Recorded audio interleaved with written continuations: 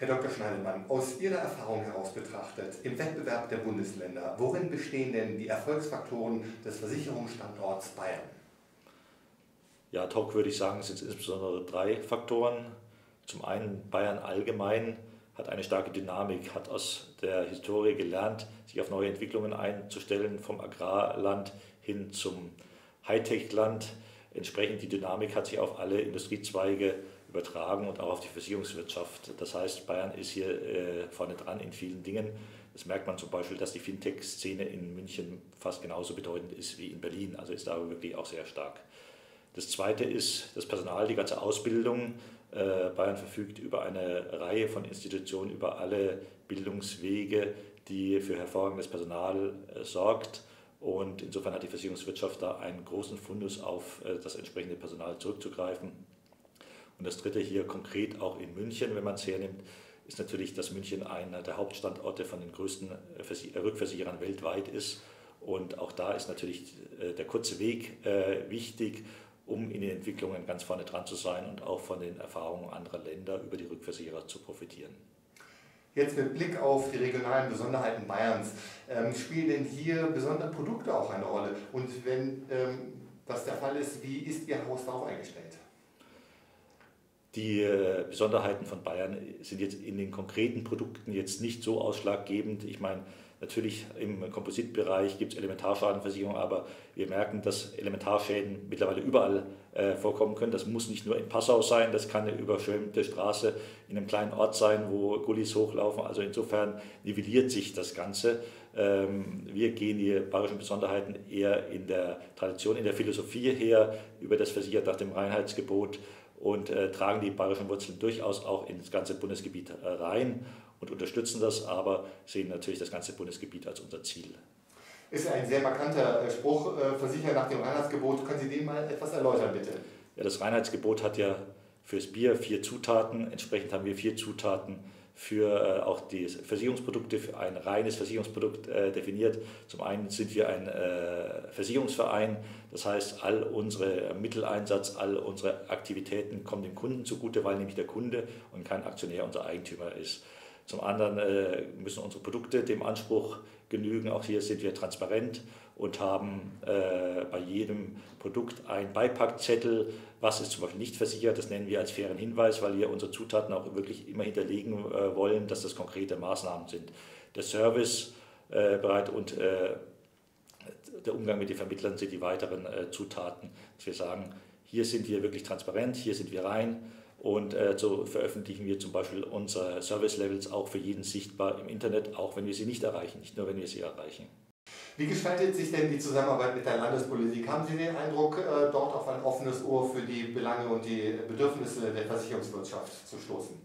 Also wir sind sehr gut mit der ganzen Versicherungswirtschaft hier äh, verwoben und dann im engen Austausch und Kontakt äh, mit den Ministerien, insbesondere hervorzuheben sei hier das Wirtschaftsministerium in Bayern, und auch das Justizministerium. Das Wirtschaftsministerium ist im regelmäßigen Kontakt, ich würde sagen zweimal im Jahr, über die Finanzplatzinitiative Bayern, in der wir auch vertreten sind.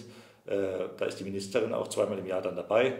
Und auch das Justizministerium hat mindestens einmal im Jahr ein offenes Ohr für die Anliegen. Das heißt nicht, dass hier ähm, Politik für die Versicherungswirtschaft allein gemacht wird, aber es werden die Anliegen gehört und es wird offen diskutiert. Es wird auch gezeigt, wo vielleicht was nicht geht.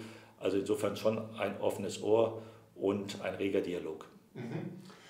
Ähm, wo sehen Sie denn den Standort Bayern mittelfristig und wo sehen Sie Optimierungsbedarf? Oder anders gefragt an die Politik wieder, ähm, äh, wenn Sie da ähm, eine Forderung äh, formulieren würden, wie sähe denn die aus? Was so, könnte die Politik mit Blick auf die Versicherungswirtschaft äh, noch besser machen? Sie hatten eben äh, ein Beispiel genannt.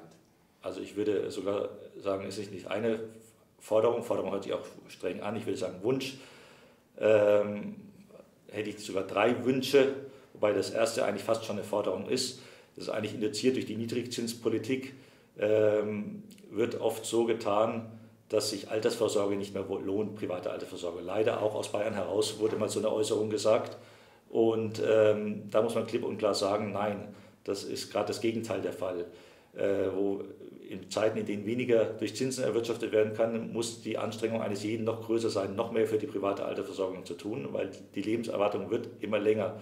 Und das ist ein Problem, was heute nicht aufschlägt, sondern was in 20, 30 Jahren aufschlägt. Und wenn die Politik das nicht aktiv unterstützt äh, zur privaten Altersversorgung, und dazu gehören auch die äh, Arbeit von Vermittlern und äh, Vermittlerinnen, von Vertriebspartnern, weil die machen genau das draußen sichtbar. Ja, ihr müsst vorsorgen. Und äh, es ist kein Bedürfnis Altersvorsorge, was einer heutzutage sofort hat, sondern es ist eigentlich viel schwerer, heute auf Konsum zu verzichten, damit er später was hat. Und dieses klar zu machen, das ist eine Leistung, die unsere Vertriebspartnerinnen und Vertriebspartner ähm, wirklich draußen le äh, leisten. Und das wird auch in der Politik oft zu sehr diffamiert. Also es müsste wirklich das klare Bekenntnis und auch die Unterstützung zur privaten Altersversorgung sein. Das Zweite ist, wie geht man mit dem Thema Digitalisierung um? Und da sind insbesondere zwei Themenfelder, die äh, mich ein bisschen umtreiben. Äh, das eine ist die Netzabdeckung in Bayern. Da werden zwar Mittel zur Verfügung gestellt, aber die müssen dann oft regional abgerufen werden.